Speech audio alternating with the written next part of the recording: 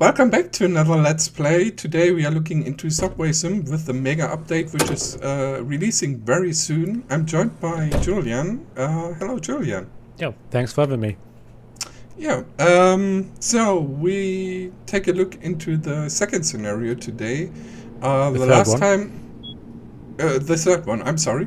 Uh, the last time uh, I was joined by Max, the CEO of Far Innoways which uh, who taught me some stuff about like uh, driving a train. So uh, now I have a driver license for for the for the train in Subway Sim. So um, yeah, uh, this time we won't uh, go through the whole scenario. We will just show you some highlights and discuss some stuff about the update, which which uh, yeah, as I already mentioned, already or will will come live in a bit.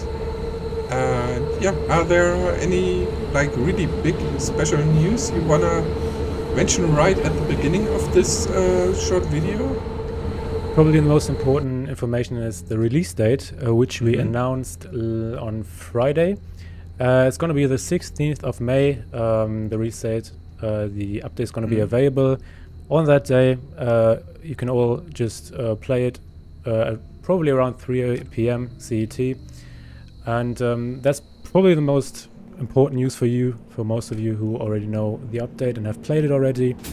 Um, and I think we should take a look at all the most important highlights of the update, mm. uh, mm-hmm. just for everybody who's who might not have uh, heard about it or just didn't watch the last video and just want a, a short little summary of all the main features of the update.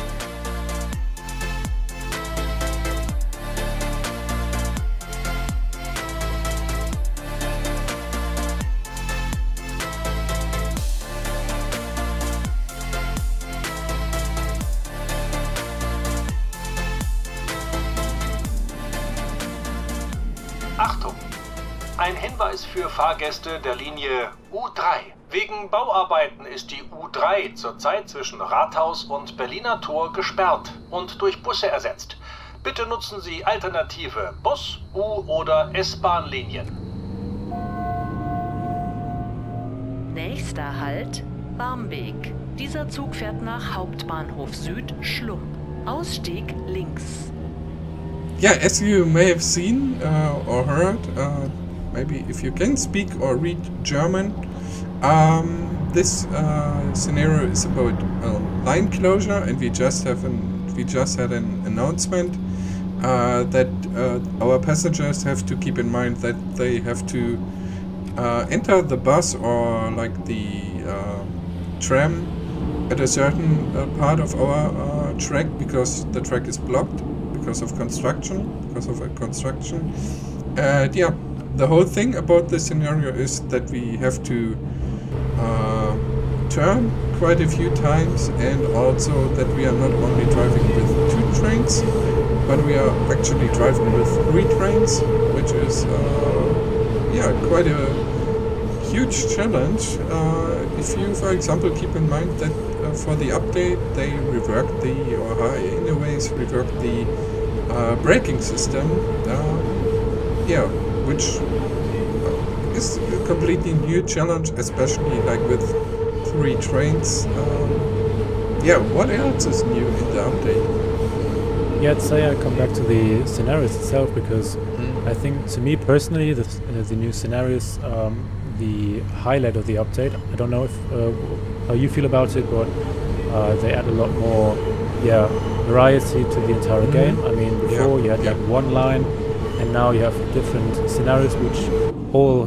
differ in difficulty. So this one is, um, yeah, I, I, would say the challenge of it is like you said, the brake, um, the braking yeah. system that has been reworked. Uh, we showed the last one we showed uh, was a bit different. It was a bit shorter. I think it was like 30 minutes long. This mm -hmm. one is mm-hmm. like 40 minutes long, I think. Yeah. And so they not only vary, uh, vary in um, kind of difficulty, but also in time. So if you click on the scenario mode button in the main menu, you see six scenarios which are all different uh, in some way and um, even if it doesn't look like that way, they all differ quite a bit in terms of scenario and they all depict real life scenarios or real life incidents that can happen to like you know train operator in Hamburg and everywhere in the world basically, which Yeah. offer a lot more realism and a lot more yeah gameplay and uh, quite you know unique ways to play the game. So that's my personal highlight uh, of the update itself, and this is actually one of my favorite scenarios of it because it's you know, pretty cool to have like three trains attached, and um, yeah, that's basically my highlight. Yeah, definitely, because like uh, some train stations are quite short, and you really have to keep an eye, as you can see, how long the train actually is. That uh, the train actually um, makes a really good stop, so everyone can, every one of our passengers can leave or enter the train where they want to, and they don't have to walk like a few meters through the train until they can leave. Um, yeah, but um, yeah, of course the DT 5.1 is completely new, but um, yeah, um, it also the DT 5.2 got reworked. Um, what else is new? Uh, yeah, as you can see, probably, or as you saw at the beginning, Mm. um, for new players, there's like there are like tooltips that have been added to the Mm. entire thing, to the entire game, that have been available. Uh, so the, the beta of the update started at, uh, at 24th March, I think, on 24th March. Um, and since then, there have been several uh, beta updates, which we're going to talk about in a bit. But that is what one highlight that is especially pretty uh, pretty good for new players, especially like for me it was as well. Um, that you really that the game shows you what to do, so that Yeah. you can go right ahead and start playing immediately without figuring out controls or anything. It really helps a lot, and you also see on the the uh, right corner that the game shows you if the signal ahead is red or it's green, if you're good to go, or if you Yeah. have to wait, and um, also the speed limit and uh, how long it is going to be until it changes. So that's pretty cool. And you already mentioned the DT5. Uh, that not only the existing model, the DT5.2 has been reworked, but also the DT5.1 has been completely, yeah, completely added to the game. Yeah. And that was one of the main aspects of the update that uh, Havanaways put a lot of emphasis on. That the entire game should be more realistic than ever, Straße. which also includes Ausstieg obviously rechts. the um, the the vehicles that you drive in, pro- uh, obviously, and the DT5 is basically depicted in its original state, uh, its original delivery state, which is also pretty cool to see. Right, and you can also see how smooth it is, how smooth the game runs. I mean, a lot of performance problems have been fixed. A lot of, you know, just other improvements, bug fixes. Everything looks smoother, feels better as well, um, as you can tell by watching the gameplay. And uh, yeah, And, and to be fair, like um, the game looks uh, gorgeous. yeah, It's it really definitely does. beautiful. Yeah, it does. Um, so it, it's not only like for the for the uh, subway enthusiasts, but also for people who really like beautiful games. Uh, you can really uh, get lost into the in, in, in the graphics at some point. Yeah, I mean, Um, especially like at the golden hour, for example. That is that is really beautiful in this Yeah. game. definitely. Yeah, and I've spoken to a lot of people, read a lot of comments of like people who actually live in Hamburg, and they're really uh, they're like really happy when they see like, oh my god, I know this building, I know this building. Mhm. So um, I mean, obviously we try to put a lot of emphasis on the Ausstieg entire environment as well, so that you can really see that it's actually Hamburg and not just some generic city we're in. So that is Mhm. pretty cool, and I think a lot of you uh, will really enjoy the update when it comes out on 16th of May. And Yeah. uh, yeah, definitely give us a feedback again. Uh, we're gonna come to the uh, beta updates that have been done so far in a short bit, and um, already mentioned also mentioned what's new, what has been done during Mhm. the entire uh, beta program, basically. Yeah, and, and the thing about the whole beta update is, which I really, I'm, I'm really uh, excited about, or actually like impressed, is that the without within the beta update there weren't just like uh, bug fixes um, Hara Innovates actually also added new content, like for example the uh, controller, uh, the controller input settings that you can now completely freely set uh, in game. Yeah, definitely easier than before. Like completely done in the main menu. You can just enter Mhm. settings in the main menu and configure them as you like. And obviously, probably a highlight is also the new skin that Halt, was um, added for the Ausstieg DT5.1. I mean, the train just got released, and yet there's already a new skin for it, which you can Yeah. see in a short clip. Yeah. That is like one of the highlights of these little beta updates. So they're not only there are four of them at the moment uh, at the time of the recording, and there's going to be a fifth one uh, later this week probably. So um, you can tell that the devs want to make sure that everything works out as it should, that um, all the boxes are fixed, that all the Yeah. improvements that can be made uh, were made, uh, so that you get a nice round full um, yeah package you know like a great great update basically because they've w- spent a lot of time on this update improved everything that needed to be improved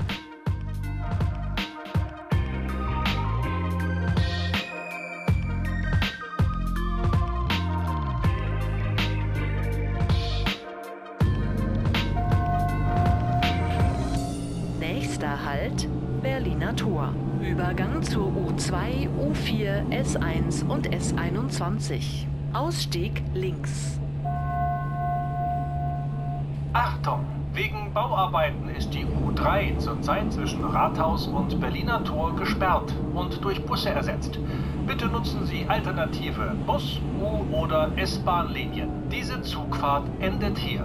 Bitte alle aussteigen. Now we are getting closer to our end station for the moment, uh, because uh, yeah, as, as I told you, or is uh, the scenario uh, is built like uh, that the this that this track is blocked at a certain point, and at this point, like in 300 meters, we have to uh, change the position. Uh, right now, it's getting pretty dark, and as you can see, I'm trying to turn out the light, uh, turn on the light, but I'm it's a tunnel after all so yeah, yeah. I'm, I'm failing pretty miserable.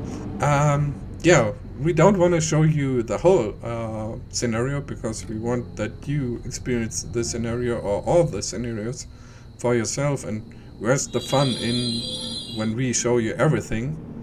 Um, yeah, so we are getting to a stop. That is like the end stop for our passengers, which we still have.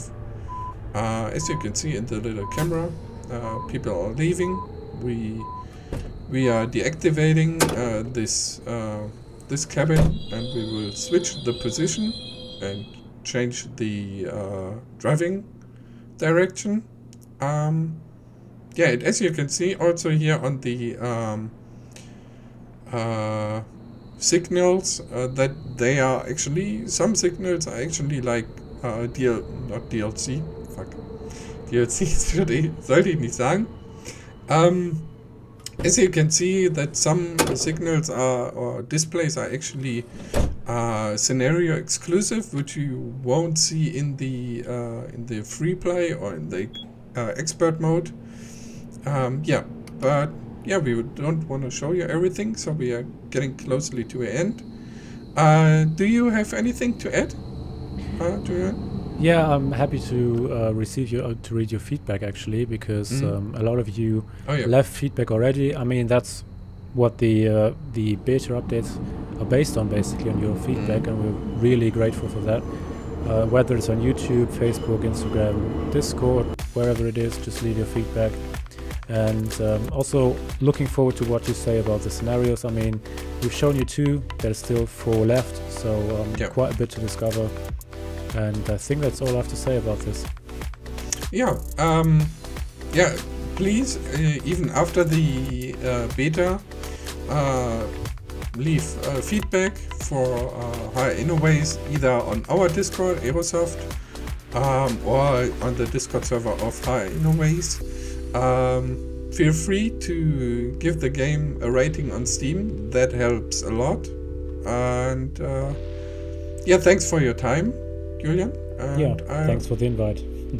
I would say uh, we will see you in the next video. Bye bye. Yeah. See you.